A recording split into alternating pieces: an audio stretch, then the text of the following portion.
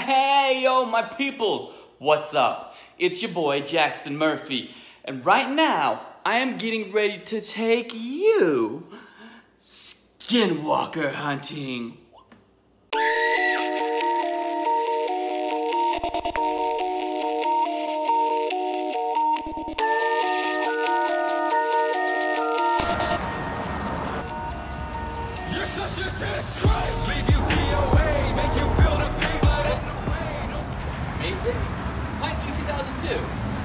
Oh, hey, Jackson. How's it going, man? Dude, it's been ages. So you're a park ranger now? Cool, man. That's cool. Yeah, you know. So, um, what are you up to? Yeah, um, I'm actually I'm heading out by Red Rocks. I'm gonna shoot some footage for my YouTube channel. Cool. Well, be careful out there, man. Desert's rough and it's getting dark. Cool. Thanks. It's good to see you, man. Leave you DOA, make you feel the pain, but in the rain. Only death remains. Only death remains. Ladies and gents, here we are out in the West Desert, and we are hunting skinwalkers. Skinwalkers are these Indian demons, these half men, half beasts who get pissed off if you trespass on their sacred ground. So, a trespassing, we shall go. Legend says that skinwalkers are attracted to whistling, and that you can tell one is near if you smell sulfur or hear heavy footsteps. Can't whistle, but.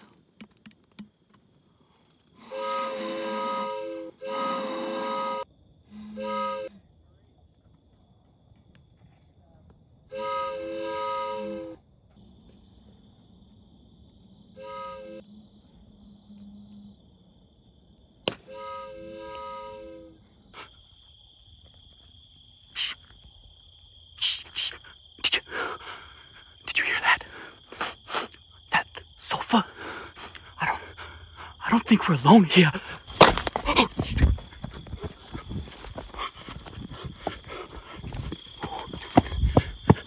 Whew. Something was definitely chasing me, but I think I lost it. My friends, I believe we just had a skinwalker sighting. And that is how you blow up YouTube. What the hell was that? Hey, somebody there?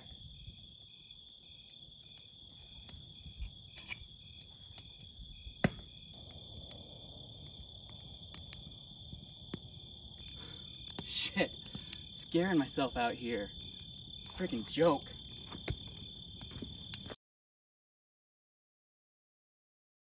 Okay, my peoples, I've come back to the site of my Sandwalker encounter to look for tracks or other forms of evidence, and let me tell you, I've got chills. Just look at those branches.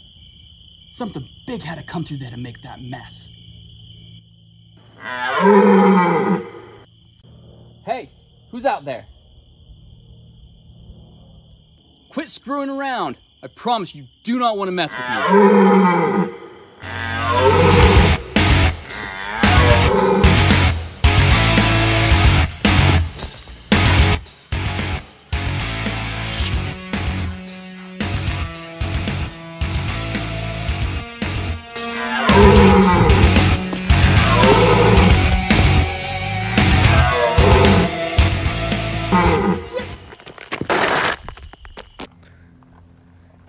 Something, it's helpful to understand it. If you stand still and absolutely silent, the desert can tell you all kinds of things. The smells, the way the dirt and the plants feel, the noises animals make. If you stop and listen, you can learn all kinds of things. It'll tell you secrets too things you won't see or hear anywhere else. The eyes of the owl at night, the javelina's growl, the mule deer's bark. you didn't know any better, you think you were in a horror. They don't think that you still exist. Cause that's what they were taught in school. broken treaties and missing women. Despair is their greatest tool. Don't cut your hair for them anymore. Don't let them tear you from the soil.